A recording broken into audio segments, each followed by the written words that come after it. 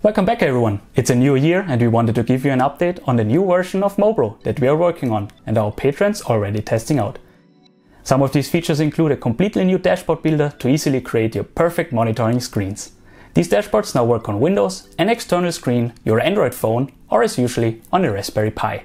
There's also a new plugin system for gathering all your monitoring data. So let's take a closer look.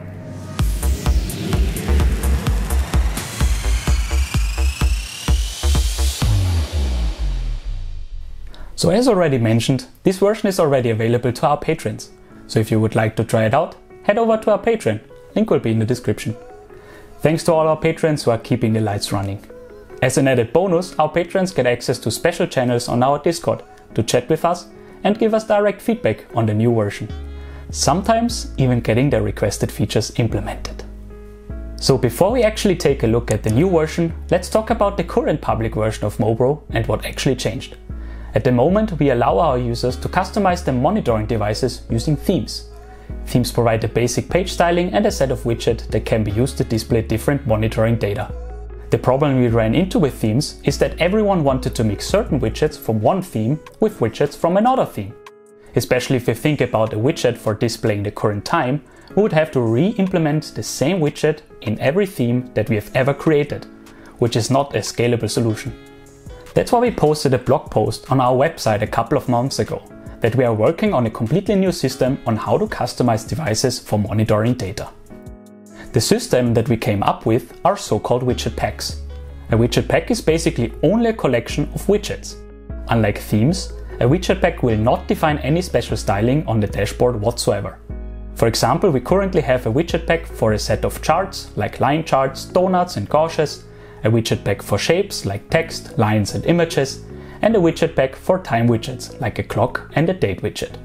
But the new approach now allows users to mix and match widget packs as they like.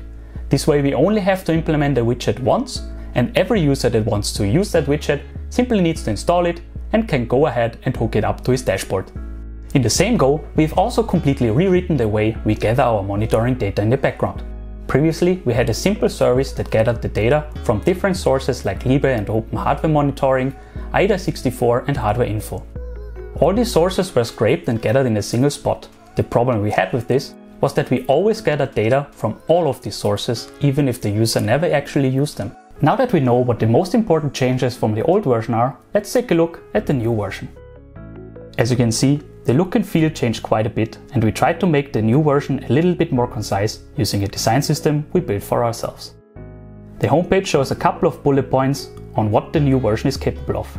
In the future we want to replace this with an overview of the most important data that we have at hand, similar to the Windows Task Manager. So let's take a look at the Marketplace next. In the Marketplace, we are now able to download and update widget packs and plugins that we want to use. So on this instance of MoBro, we have two widget packs installed. Now let's install one directly from the marketplace.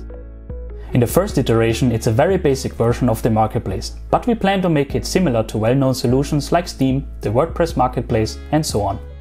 But for now, it's a very simple list of all the widget packs and plugins that we have available. If you have any features that you would like in the marketplace, let us know in the comments down below. Next up, we have the monitoring page. Here we see a list of dashboards, install plugins and widget packs. We're able to change the settings, update them or uninstall them if not needed anymore. In the old version we called things that display the theme devices.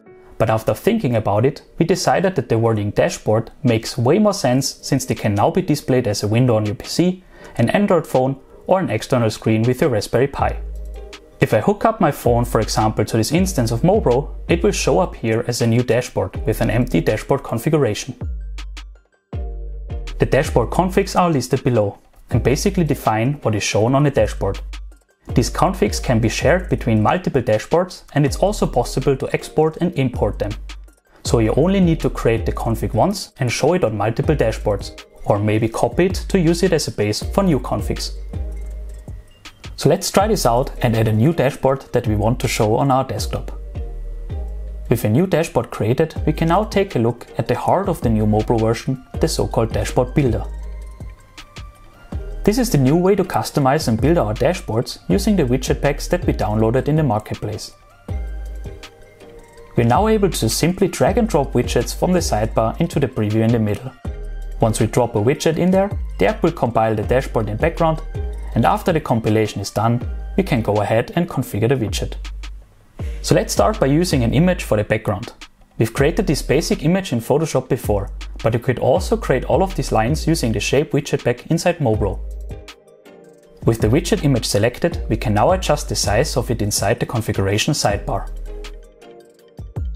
To enable transparency for our window, let's set the background alpha to 0 and go back to our dashboard overview. And open the menu and select Enable Transparency. Now with our background set, we can start adding our data widgets. For example, this gauge chart. Let's select the data metric that we want to show by using the Libre Hardware Monitoring plugin and select the CPU temperature. Adjust the widget to have a maximum of 110 degrees. Now we can see that the gauge is already updating. Let's adjust these colors to fit our theme. The settings that are exposed from a widget are defined by the widget pack developer.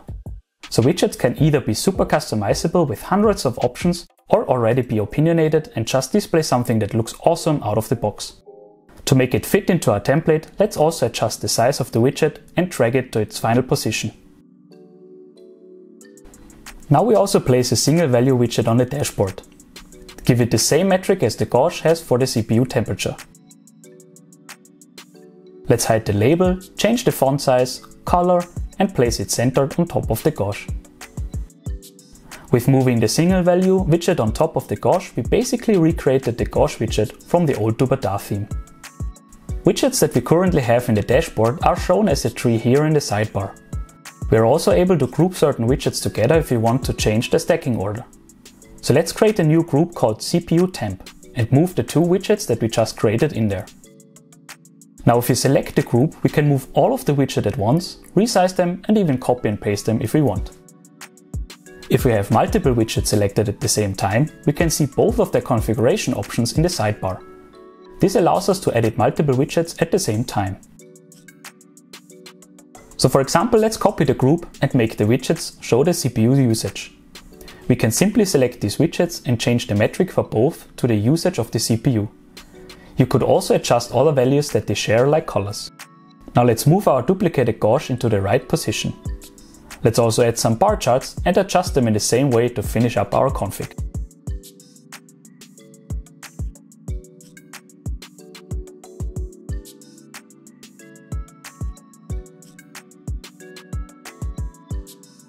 With the configuration set up, we can now move the dashboard to a dedicated screen or select the dashboard config for any other dashboard to display. We could also copy the URL of the dashboard and simply open it up in the browser, or use it as an overlay in Streamlabs like one of our patrons does when streaming on Twitch. As you can see, the new dashboard builder and the plugin system now open up a lot of new possibilities that you can achieve with MoBro. Since we didn't stop just there when we were planning the new version, let's talk about a couple of things that we also want to implement in the future once we release this version to the public. Like developer documentation to enable other people than us to write new plugins and widget packs to make MoBro even more awesome. We also plan to migrate more of the existing themes to the new widget pack system. Additionally, we will add more features for our patrons, so don't forget to check out our Patreon in the description down below. Obviously, we want to make the marketplace better as well. The UI and some workflows will also be improved. And to make the dashboards interactive, we will add a new action system, but more on that in a future video. So stay tuned. Don't forget to like this video and subscribe to our channel to keep updated. And we'll see you guys next time.